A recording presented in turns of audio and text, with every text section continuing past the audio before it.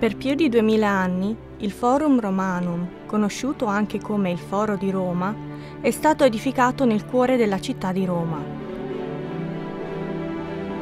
Situato nel centro della città antica, nell'area tra il Colle Capitolino e il Colle Paladino, il foro è stato trasformato da conglomerato di capanne a colossale costruzione in marmo in meno di 700 anni. Quello che oggi possiamo ammirare sono i resti di un luogo che per gli antichi romani era il più sacro dei luoghi di culto e allo stesso tempo era il centro della vita quotidiana e di interazione per la comunità. Era un luogo dove Cesare si è incontrato con il Senato, dove l'imperatore Augusto ha formato il suo impero e dove per generazioni marmo è stato estratto per la costruzione di chiese sparse per tutta Roma inclusa San Pietro nella città vaticana.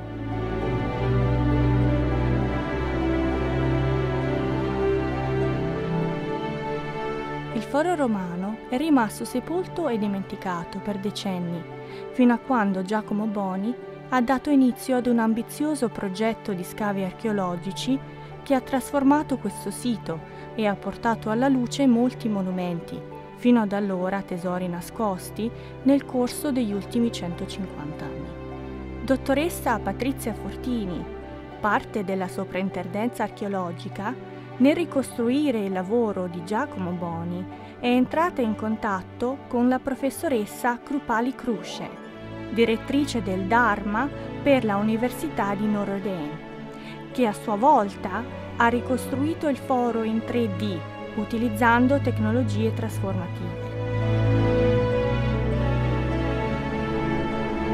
Lo scopo dell'esibizione del Foro Romano è di fornire ad architetti, archeologi, storici d'arte, accademici e il pubblico generale una maggiore comprensione dello sviluppo della documentazione archeologica e degli scavi al Foro Romano negli ultimi 150 anni, dal 1898 al 2013.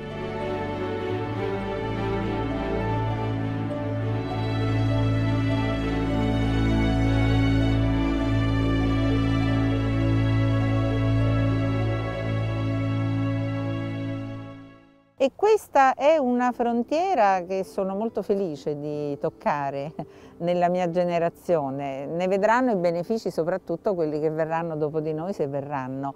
Però in questo senso la tecnologia deve essere non uno strumento sostitutivo, perché nulla poi sostituisce il controllo diretto e il pensiero dell'uomo. Non siamo ancora ai livelli come dire, di Asimov, no? sul, sul robot che sostituisce l'essere umano e mm, mi auguro che non ci arriveremo mai evidentemente, però è un uh, sistema che deve essere usato a corredo e integrazione della mente dell'uomo. Io lo immagino come una protesi, una protesi digitale che consente all'essere umano di essere più capace, più veloce, più produttivo a parità di intelligenza.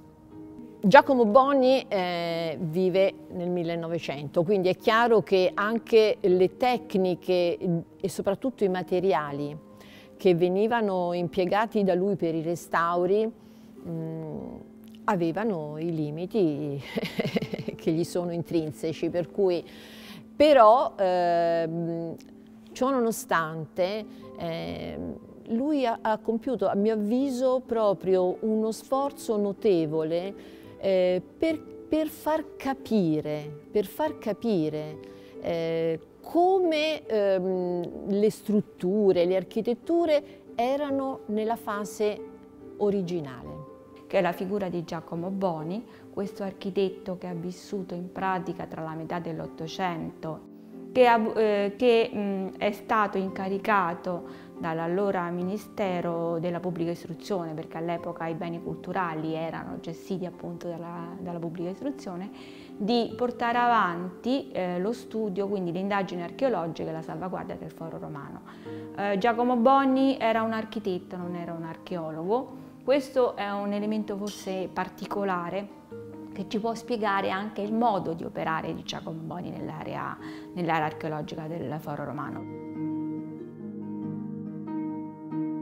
Chiaro che lui ha voluto dire, in, facendo in questo modo, che proseguiva, che, che lui aveva realizzato soltanto una parte.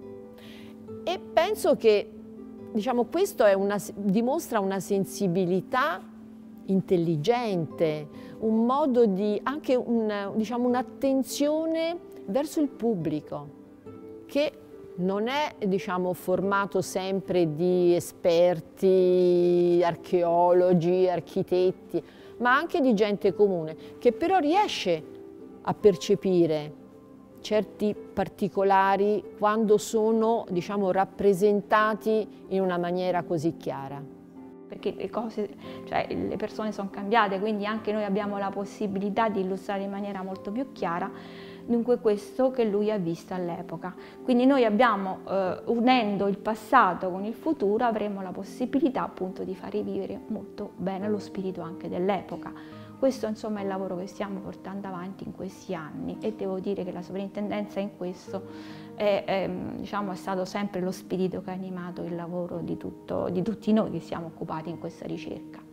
Oggi presentiamo anche una installazione eh, che eh, si avvierà nei prossimi giorni a seguito di convenzione nella quale facciamo un passo in più che è quello di presentare anche a livello multimediale il risultato di studi e lavori fatti in comune appunto tra la sovrintendenza, in particolare ripeto la collega Patrizia Fortini e eh, l'Università di Notre Dame um, un uh, assaggio molto molto consistente di quello che era il foro romano e uh, di come funzionava quest'area nell'antichità e di come noi vorremmo vederla e riconoscerla.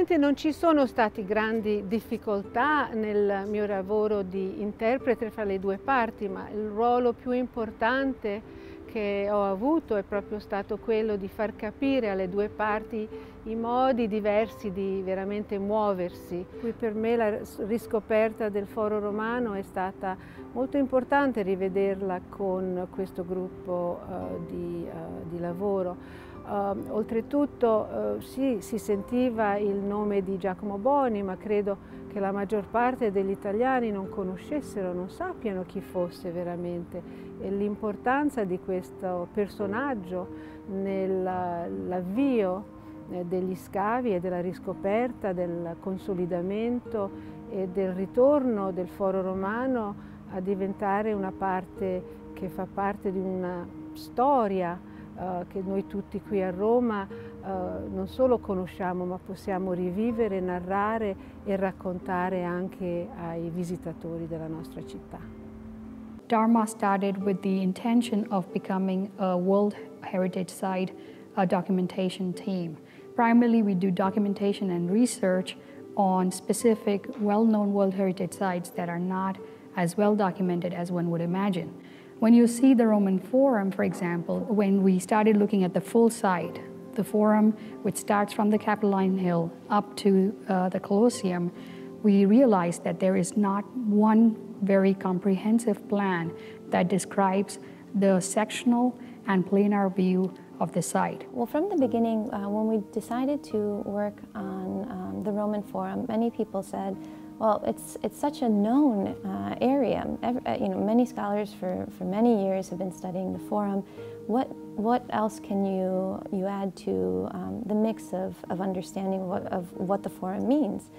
And at the beginning, it seemed like a, a difficult question, but um, Professor Cruce had a really wonderful response. She said, well, you know, then, then let's, let's add another layer of understanding to the forum. And once we started thinking about you know, what, what the public doesn't know about the forum, we really were able to start our research um, and, and documentation of the site.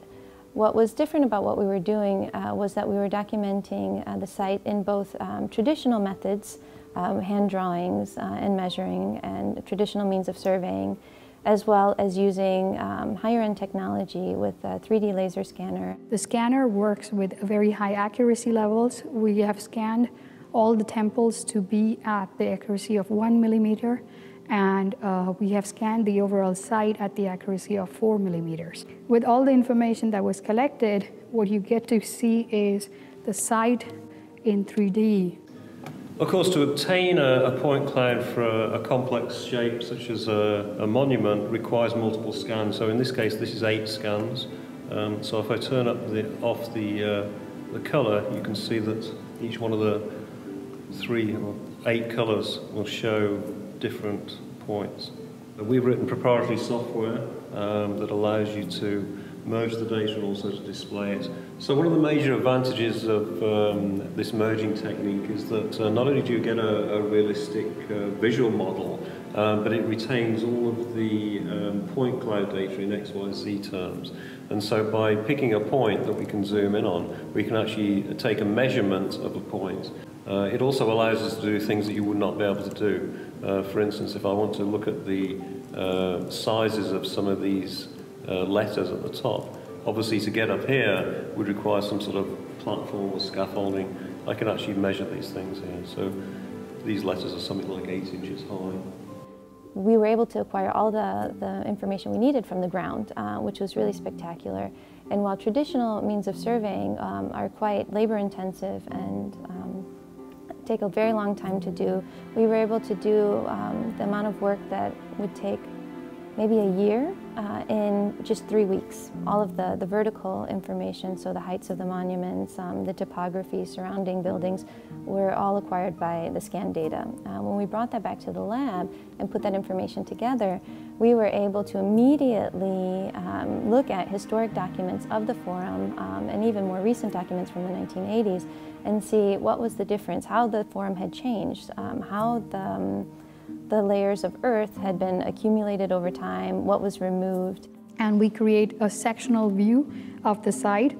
We uh, literally cut layers of uh, sections on the forum site to be able to get an understanding of how, for example, the city level is and its relation to the rest of the forum. Um, this also gives us an understanding of what are the tallest buildings or the tallest monuments on the, on the site itself. So we, taking the scan data, the students of architecture here at Notre Dame created these line drawings. These line drawings uh, allowed us to now see each of these uh, point cloud data information in more clarity and in a language that is easily understandable by anybody else in the field. On site, we created different points where we would scan the monuments from various angles to acquire as much information about them. And in between scans, we had a lot of time to interact with the ruins and learn from those by hand sketching. And on, upon our return, we were working with uh, James and Chris to create models that were in 3D with the scanned data but had images applied to them so that they can be read as models when they're zoomed in and out and not just point clouds. When we work with 3D scanning technology, uh, the scanner itself gives us pixelated information and we may be missing some of the visual understanding of data through it. And in that case, we replace that information with the GigaPan images that we have taken on site. For example, this image has around approximately 500 images put together, and that is then referenced to create the watercolors we produce.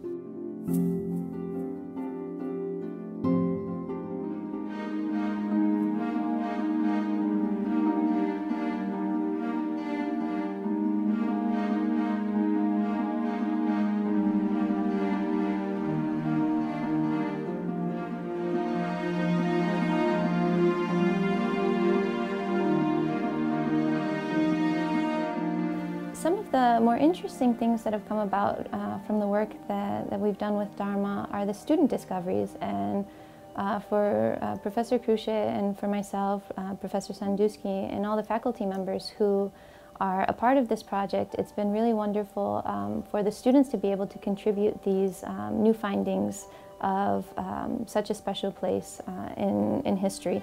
These kinds of discoveries are really great for the students because not only are they learning about these monuments in the classroom, uh, they go out on site and they have a, a new level of appreciation for what's happening. Um, the, the raw data that they're acquiring, the scans as well as the drawings, is put together with archival information and, and really they're starting to, to look at firsthand archival materials and resources at some of the most uh, extraordinary libraries there are in the world here in Rome. And they're able to put that information together and see these monuments in a way that they never saw them before. And that is probably one of the best things that Dharma has done for the students uh, at the University of Notre Dame.